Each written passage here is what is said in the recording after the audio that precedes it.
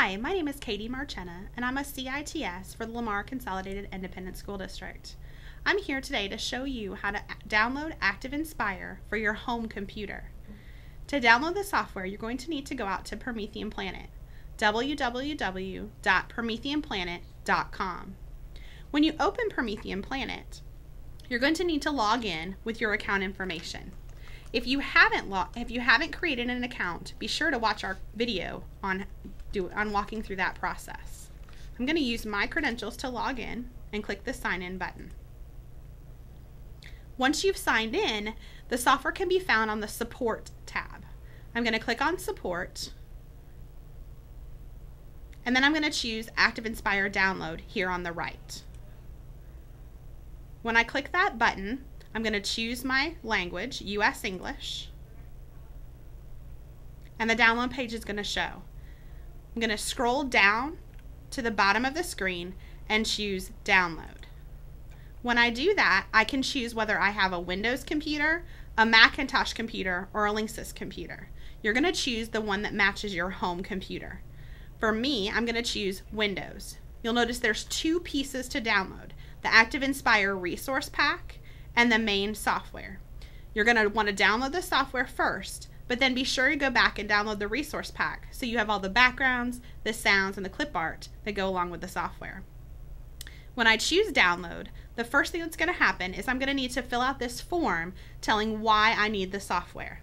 I'm going to say that I have between 100 and 1,000 students in my school. I have a Promethean board and I have Promethean software. I'm going to scroll down and add a quick reason as to why I need this software. And you can just put, I am a teacher with a new Promethean board. We saw this software on Planet, Promethean Planet, and you can decide whether you want to receive email information from them. Submit the form. Your screen should automatically refresh back to the download page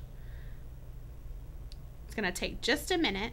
When your screen refreshes, your download should start automatically. Be aware that you might see this bar come across the top with a blocker um, for security. Click on that bar and choose download file.